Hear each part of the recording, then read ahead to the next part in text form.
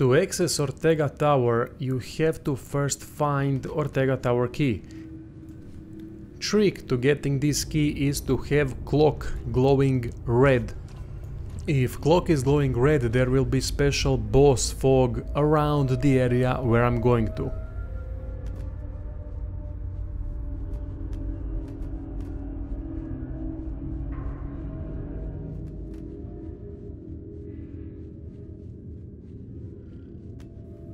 In this area you're gonna have to quickly defeat many normal enemies, after which Ortega Tower key will spawn.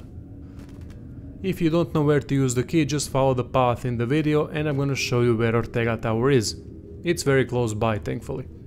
Thank you for watching and see you soon.